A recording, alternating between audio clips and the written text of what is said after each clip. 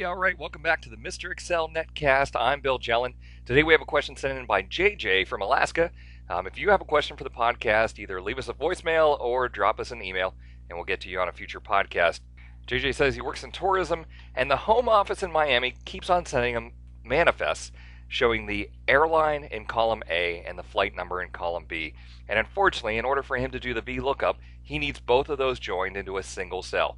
Well, to add things together that are text, instead of using a plus sign, we have to use the ampersand. Now, this is called concatenation, a big long word that basically means joining text together.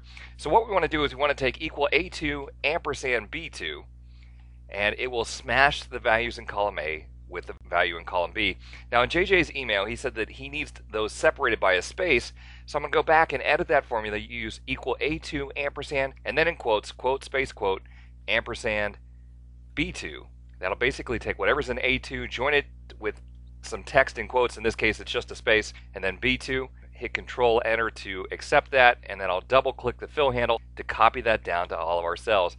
Now it's real tempting at this point to say, well, hey, I have exactly what I need in column C, so I don't need this data in column A and B anymore, and we hit delete, and unfortunately then everything disappears. Well, at that point, we hit Control Z to undo, um, if you want to make these values in column C be values instead of live formulas, we have to copy and then paste special values. Now, there's several different ways to do this. We can use edit, copy, and then edit, paste special values. I want to show off my favorite way to do this, and this was from someone in row two in Columbus, Indiana.